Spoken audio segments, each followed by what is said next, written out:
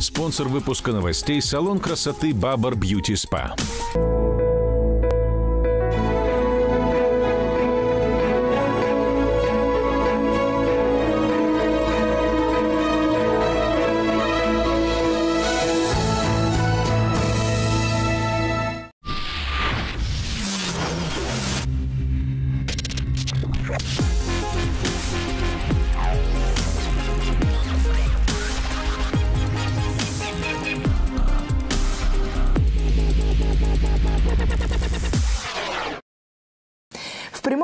Информационная программа «Саратов сегодня» в студии Екатерина Хяргинин. Здравствуйте. Вместе с коллегами мы готовы рассказать о наиболее заметных событиях. И вот о чем пойдет речь.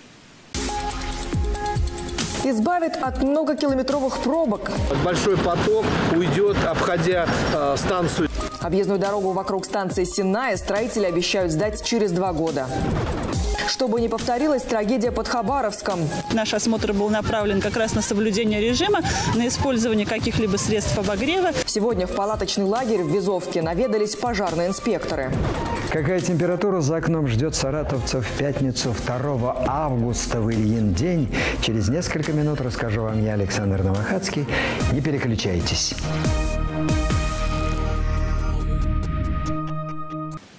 Из Саратова до Вольска всего за один час. Такое путешествие станет возможным после завершения реконструкции трассы, которая сейчас ведется. Строители возводят сооружения, которые позволят избежать многокилометровых пробок у поселка Синодское и станции Синая. Когда, наконец, разгрузится федеральная трасса, точные сроки узнала Оксана Лючева. Переезд у станции Синая в Вольском районе. Здесь по несколько раз в день выстраиваются многокилометровые пробки. Трасса – одна из самых загруженных в районе. Одна более-менее нормальная дорога связывает М5 и М-Дон. Ну а где еще ехать, вот если на Урале живете? По какой дороге вы поедете? Невозможно выехать. Вот я живу на.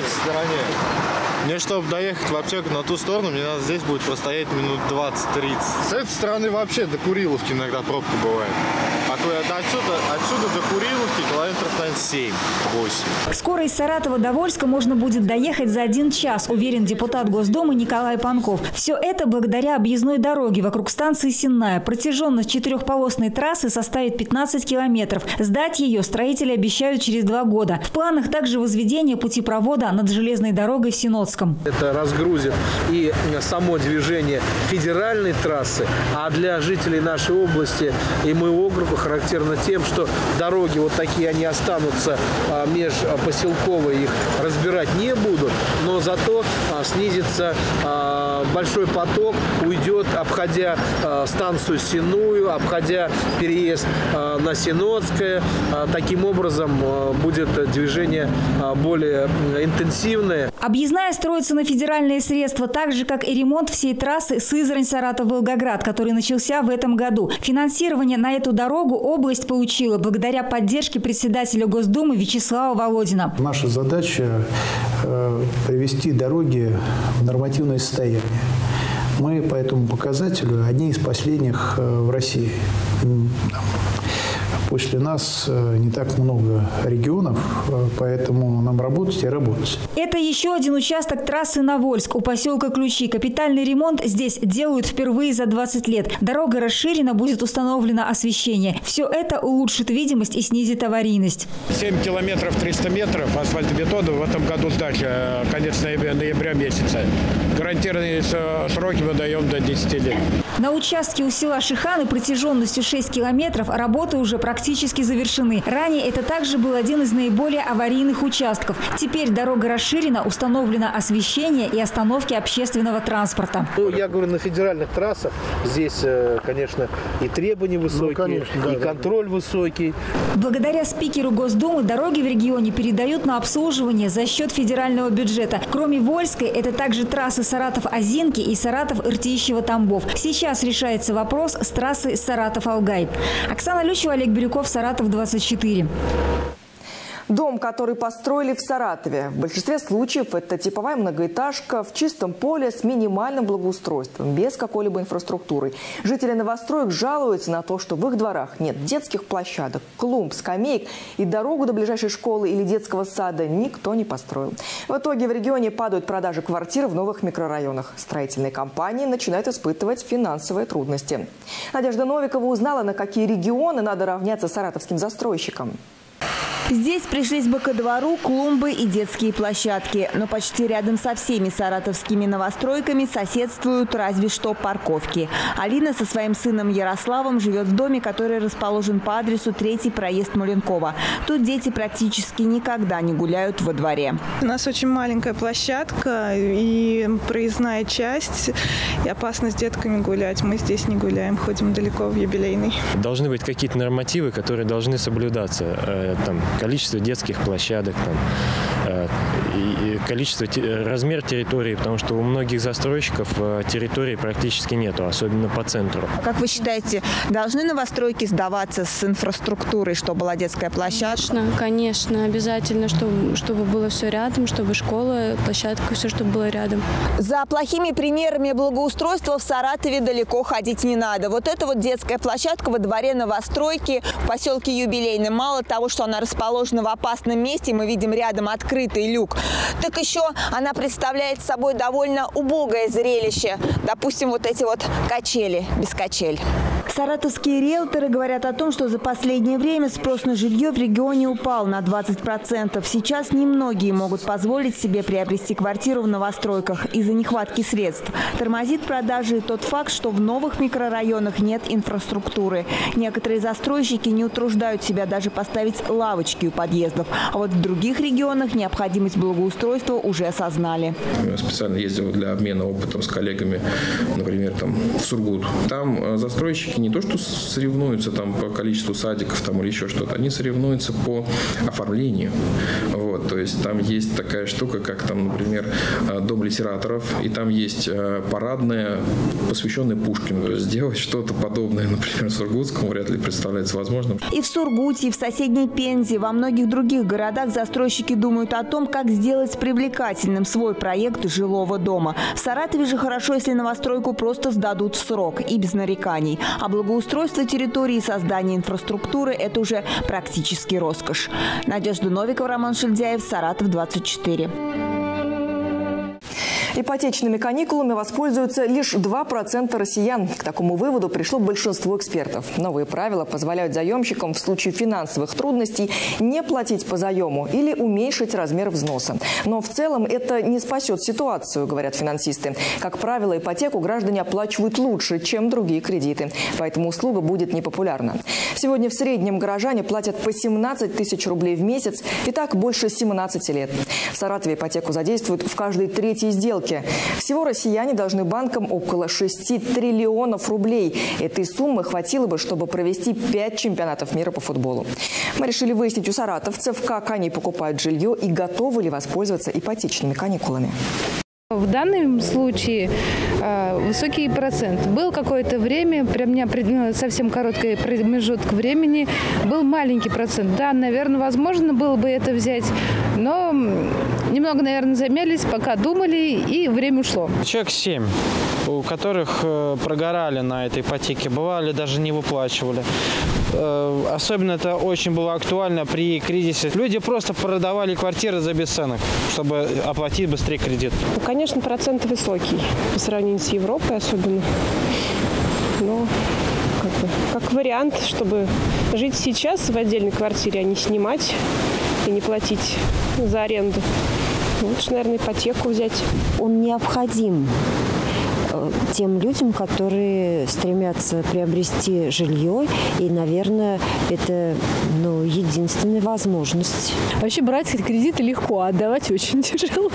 Поэтому, ну, как бы, ипотека не исключение. Ну, с другой стороны, чтобы не платить э, ну, за съемное жилье, конечно, лучше взять ипотеку, вот на мой взгляд, потому что все равно платишь, куда деваться. Uh-huh. А вы Только проценты должны быть приемлемые. Под те проценты, что у нас в стране, наверное, нет. То есть 0 0,2-0,4, как за рубежом, да, имеет смысл. Под наши проценты нет точно. Достаточно трудно, потому что средняя выплата как раз около месячной зарплаты получается. То есть, по сути, если живешь один там на одну зарплату, то, вероятнее всего, не будет варианта выплатить. Нет, у нас есть квартиры две, поэтому нам нету, не нужно. Не планируем. Мы не берем ипотеку, мы против ипотеки.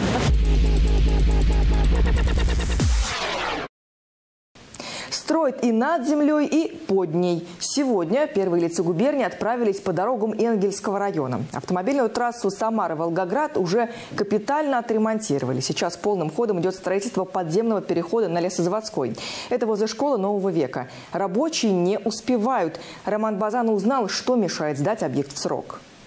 Роют землю. В Энгельсе идет строительство подземного перехода. Тоннель будет проходить под автомобильной дорогой и железнодорожными путями на Лесозаводской. В часы пик здесь интенсивное движение. Рядом расположены учебные заведения. Школа нового века. Мы делаем сначала тот переход, э, выход 16-метровый с двумя выходами.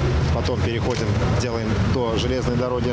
То, что сегодня сказали железной дороги, мы уже переговорили для того, чтобы запас на неделю был на нефтяной базе, чтобы мы неделю смогли разобрать и закрыть переход.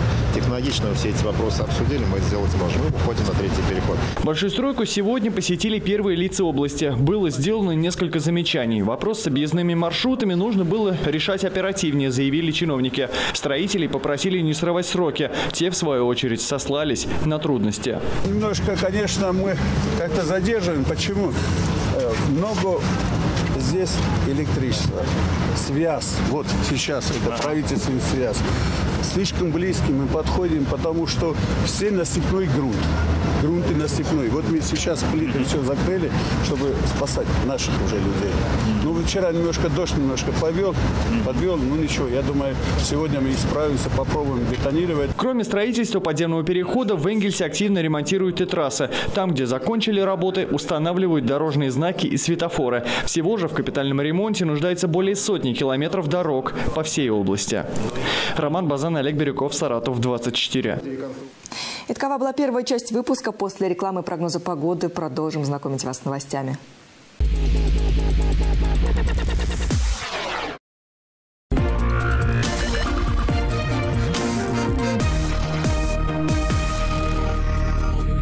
Хотите накопить и приумножить на образование, отдых, свадьбу или ремонт? Принимаем сбережения под 15% годовых. Сбережения от 10 тысяч. Просто, выгодно, надежно. Гарант кредит. Телефон в Саратове 708 444. Генеральный спонсор прогноза погоды – сельскохозяйственный кооператив «Гарант Кредит». Поможет сохранить и приумножить ваши сбережения просто, выгодно, надежно. Телефон в Саратове 708-444. Здравствуйте. В пятницу 2 августа в Ильин день. В Марксе, Балашове, Хвалынске, Алгае, Перелюбе и Балакове облачно с прояснениями, преимущественно без осадков. Ветер северо-западный 4,7 метров в секунду. Днем до плюс 22, а ночью до плюс 12.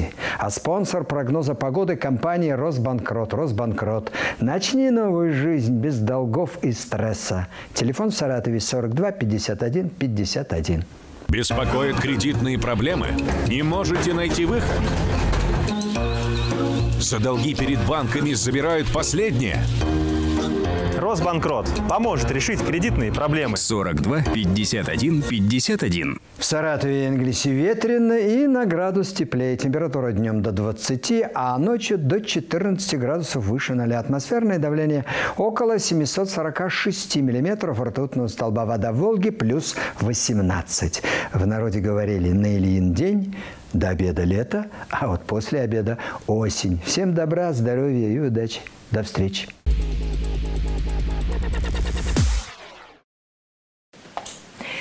Прямом эфире продолжаем знакомить вас с новостями.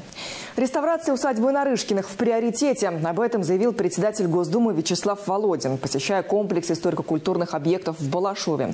По его словам, восстановить здание необходимо качественно, с привлечением квалифицированных экспертов. Ансамбль строений попал в специальную программу по сохранению исторического наследия, которую инициировал спикер. Станислав Жижин узнал, какие объекты вошли в проект и когда к нему приступят эксперты. Свою первую юношескую симфонию Рахманинов Сергей Васильевич начал писать именно в подах.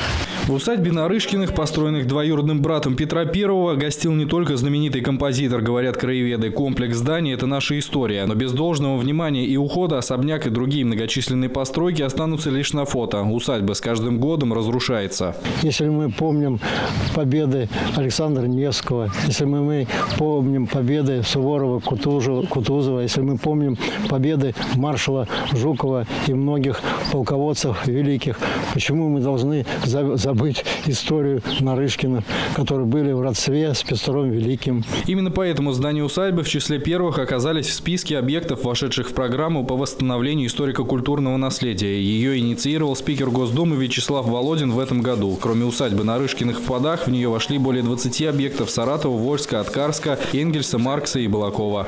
Давайте двигаться по этой географии. Но приоритет – Поды. Потому что памятник разрушается. У нас есть еще ряд памятников в Саратове, тоже приоритет. Почему? Разрушаются. Коллеги, вы сами хотели, чтобы мы занялись этой работой. Сейчас не обижайтесь. У вас не будет другого пути. Только результат. Вячеслав Володин попросил экспертов включить в программу как можно больше строений усадьбы. По словам специалистов, это может увеличить сроки. Есть риск не успеть к рассмотрению федерального бюджета. Вячеслав Володин предложил не торопиться и сделать проект, если и не в текущем году, но качественно. Время для того, чтобы выполнить проект, у нас тогда будет достаточно. Осеннее, зимнее время, еще весна. У нас получится около года практически. Но в июне тогда мы спокойно возьмем и запустим экспертизу уже. Главгосэкспертизу будут проходить эти проекты. Тогда мы с вами выйдем к следующему бюджетному году, к сентябрю, когда обсуждается бюджет, с проектами, с итоговой глав, главгосэкспертизой по этим проектам. Но они уже будут включать не одно здание, не первый этап. Тогда это будет уже определенный комплекс. Спикер Госдумы обратил внимание специалистов на уцелевшие объекты дореволюционной постройки. Все их, по словам Вячеслава Володина, необходимо отреставрировать. Кроме того, нужно решить вопрос с недостроенным корпусом санатория. Его восстановление может привлечь в Пады немало туристов и отдыхающих со всей России. Станислав Жижин, Максим Пустовалов, Саратов 24. Справиться за пять дней столько нужно времени, чтобы потушить лесные пожары в Сибири и на Дальнем Востоке. Об этом сегодня заявили в федеральном МЧС. По словам специалистов, к борьбе со стихией подключились военные. В регионы направлены самолеты с вертолетами. Помогают и верующие. В, храм, в храмах читают молитвы, а шаманы проводят обряды. Всего в стране полыхают порядка трех миллионов гектаров леса. Дым уже дошел до соседних стран, сообщают «Известия». О других событиях глазами федеральных журналистов в нашей рубрике «Новости страны». Сегодня специалисты назвали город, где хуже всего оказывают коммунальные услуги. Это Каменск, Шахтинский, что под Ростовом. Южане часто страдают из-за грязной воды и дырявых труб, замусоренных дворов и обмана коммунальщиков. А в лидерах оказались Ейск, что на Кубани, Тюмень, Нижневартовск и Сургут. Там коммунальные службы оказывают качественные услуги и прислушиваются к мнению горожан, уверяют эксперты. В целом же по стране работу управляющих компаний граждане оценили на 5 баллов из 10, сообщает российская газета. Названа безопасной для здоровья колбаса. Исследованием занимались специалисты Росконтроля. Они проверили образцы по 50 параметрам, поэтому нарекания у экспертов возникли. В части российских колбас обнаружили фосфор и частицы свиной шкурки, не указанные в маркировке. К тому же в некоторых продуктах был плохо перемешан фарш. В итоге специалисты Росконтроля забраковали колбасы Царицына и Окраина, внесли их в список товаров с замечаниями. Исследования показали, что доставщики еды частенько съедают часть заказа. Продукты до адресата не доносит почти каждый третий курьер. К такому выводу пришли эксперты одного из крупных дистрибьюторов. Больше половины доставщиков признаются, что часто соблазняются запахом еды, но сдерживают свой порыв. К слову, клиенты все чаще жалуются, что столкнулись с пропажей части заказа. Заведениям даже предложили использовать антивандальные наклейки, чтобы предотвратить кражи. Искали обогревателя. Сегодня в палаточный лагерь, что в селе Визовка, наведались пожарные инспекторы. Сотрудники МЧС посмотрели, в каких условиях живут дети и как соблюдают правила безопасности вожатые. Напомню, в Хабаровском крае сгорел палаточный лагерь. Погибли четверо детей. После трагедии к организаторам палаточного вида отдыха сейчас пристальное внимание. Полина Попенец побывала в Саратовском районе и узнала, нашли ли там нарушения. Сотрудники МЧС посетили палаточный лагерь в Визовке. Воинское братство функционирует уже два года. А здесь сейчас находится 10 детских палаток и две взрослых. Всего 30 человек. Это четвертая смена. Дети заехали накануне. Также на территории лагеря есть э, стационарный объект, столовая. Инспекторы проверили наличие огнетушителей и пожарной сигнализации. Проверяющие осмотрели палатки. Мы в первый день, вчера, да, обязательно, когда было размещение в палатке, соответственно, мы, сотрудники, медицинский работник, проверяют, досматривают вещи абсолютно каждого ребенка на наличие, потому что родители любят положить им огромную аптечку. Естественно, хранить это в палатке запрещено. Колющие, режущие зажигалки, а, аэрозоли от комаров тоже взрывоопасные, мы тоже все это убираем, собираем. Лекарства хранятся только в медицинской палатке, если необходимость есть, у нас в холодильнике хранятся свои.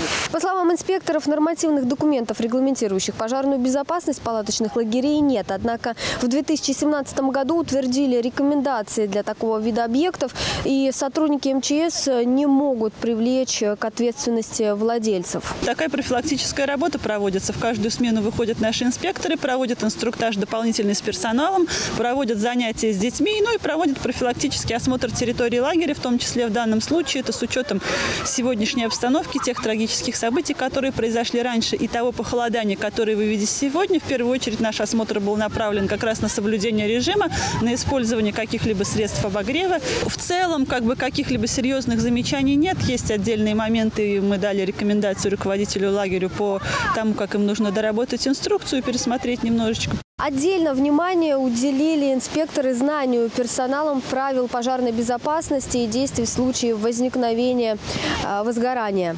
Несмотря на понижение температуры и ветреную погоду, в палатках обогреватели инспекторы не обнаружили. Как рассказали вожатые, чтобы согреться, ребята используют э, теплые вещи и спальные мешки. Полина Попенец, Роман Шельдяев, Саратов, 24. Любовный треугольник, который поднял на уши весь интернет. Гага Купер Шейк. Российские фанаты обвинили певицу в том, что она увела у нашей бывшей соотечественницы Ирины Шейк мужчину. Напомним, Леди Гага и Брэдли Купер вместе снимались в фильме «Звезда родилась». Недоброжелатели заполнили инстаграм-аккаунт Гаги гневными сообщениями и просто всякой ерундой. А что еще интересовало жителей Саратовской области во всемирной паутине, расскажем прямо сейчас. Пятую строчку нашего рейтинга занимает футбольный матч Тамбов-Спартак. В этой игре главный арбитр не назначил пенальти ворота хозяев. Были еще несколько спорных ситуаций. Поединок закончился победой Тамбова 2-0. Чуть выше митинг в Москве. Он прошел 27 июля. По итогам несогласованной акции, по некоторым данным, задержали около 1400 человек. Следственный комитет возбудил уголовное дело о массовых беспорядках. Открывает тройку лидеров запрос темы о Максиме Дадашеве. Российский боксер скончался от травм в американской больнице в штате Мэриленд. Туда он попал после боя с порториканцем. Сразу после поединка в сети появилось видео, как тренер российского боксера отговаривает его от продолжения боя. Группу «Крови» Металлика спела на концерте в Москве. И это вторая строчка нашего рейтинга. Легендарная рок-группа исполняла хит на языке оригинала. Для фанатов из любой страны такие эксперименты очень дороги. Больше всего запросов на минувшей неделе было об актере Рудгере Хауэре. Он ушел из жизни на 76-м году. Хауэр прославился после выхода фильма «Бегущий по лезвию» и был достоин премии «Золотой глобус» как лучший актер второго плана за роль советского узника концлагеря в фильме «Побег из Собибора». И к этому часу у меня все. Еще больше новостей на нашем сайте saratov24.tv. Я же с вами прощаюсь. Всего доброго. Одежда ведущих представлена магазином «Бестселлер». Спонсор выпуска новостей – салон красоты «Бабар Бьюти Спа».